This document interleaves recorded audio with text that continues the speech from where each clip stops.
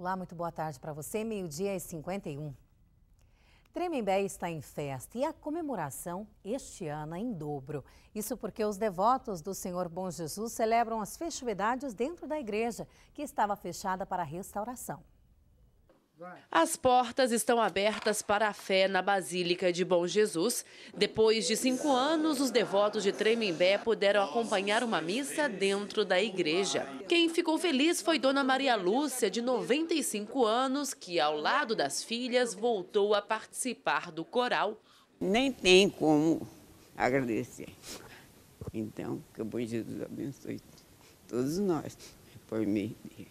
A Basílica do Bom Jesus de Tremembé passa por uma reforma. As obras começaram em fevereiro, quatro anos depois da interdição da igreja por problemas estruturais. Na primeira etapa, o telhado foi recuperado. O projeto de restauro tem incentivo do Ministério da Cultura. Nós estamos na primeira fase, concluindo a primeira fase, ainda vai levar uns dois meses nessa primeira fase.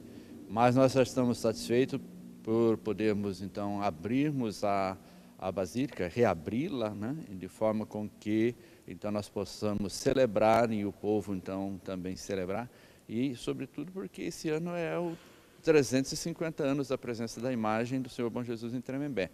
Então é um ano jubilar, é um ano festivo e nós nos esforçamos o máximo para que acontecesse esse momento dentro da Basílica. Então a, a própria empreiteira, aí a comunidade foi um esforço muito grande para celebrar os 350 anos dentro da Basílica. Hoje, a oração de Maria Zélia em frente ao altar é, na verdade, um agradecimento.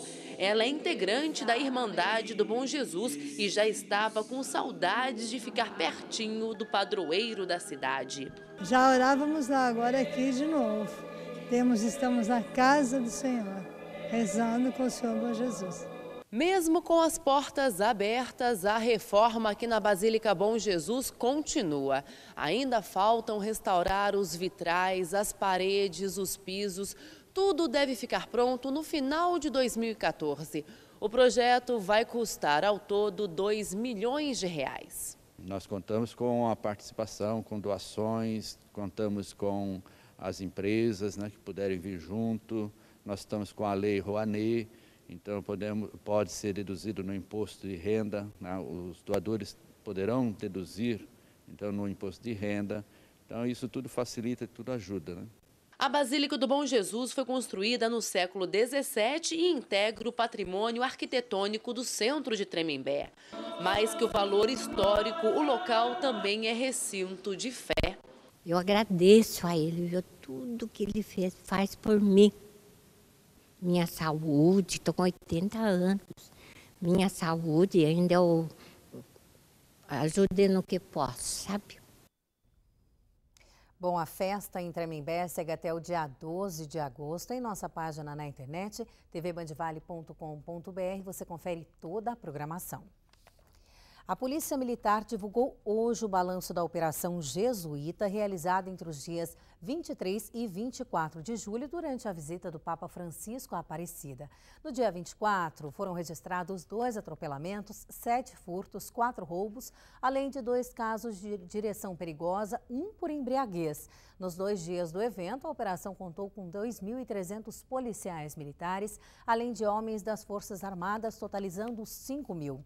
A Basílica deve divulgar ainda hoje o número de romeiros que passaram por Aparecida no dia da visita do Pontífice. Mas a estimativa inicial, a gente lembra, era de 225 mil romeiros no santuário durante as festividades da Jornada Mundial da Juventude. A Polícia Civil de Taubaté vai usar imagens do circuito interno de segurança de um supermercado para descobrir quem abandonou um recém-nascido na noite da última sexta-feira. Duas clientes que saíam de uma loja encontraram a criança por volta das 8 horas da noite. A polícia e o conselho tutelar foram acionados imediatamente. A criança recebeu alta do pronto-socorro infantil do Hospital Universitário para onde onde estava internada desde o dia do encontro. Ela será levada agora para uma casa transitória no bairro Jardim Morisco.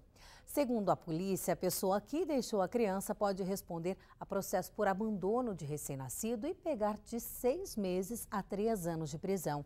A polícia também orienta que quem tiver informações pode ligar para os telefones aí no seu vídeo, a 177, ou também para o próprio telefone da Delegacia de Defesa da Mulher 3621 5499. Um menor de 17 anos foi apreendido e outros dois jovens de 19 e 20 anos presos por roubo na noite de ontem no bairro Esplanada Santa Terezinha, em Taubaté.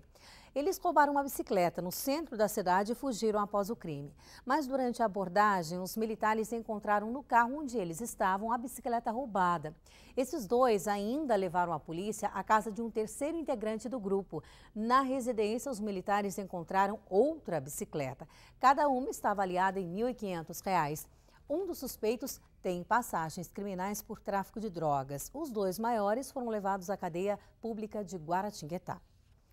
A seguir aqui no Banho de Cidade, queda de energia na Santa Casa de São José dos Campos causa susto em pacientes. E ainda a polícia registra um grande movimento na rodovia Floriano Rodrigues Pinheiro por causa do Festival de Inverno de Campos do Jordão. Não saia daí, a gente volta já, meio-dia e 57.